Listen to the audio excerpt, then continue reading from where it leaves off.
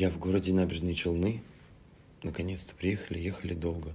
Относительно, правда, но все же. А, чем знаменателен город для меня?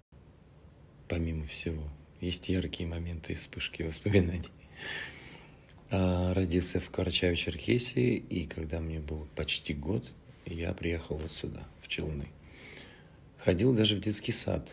Я там надолго, мне кажется, запомнили, потому что я тихий час не давал никому спать. На обеде отбирал у всех еду, потому что был гиперобжорным каким-то человеком. Падал с ледяной горки и разбивал носы в кровь. Прилипал языком к столбу, и чайником с теплой водой меня отклеивала мама. Вот и сейчас прилип. Правда, потому что спать хочется. Пойду, а то я же не лошадь.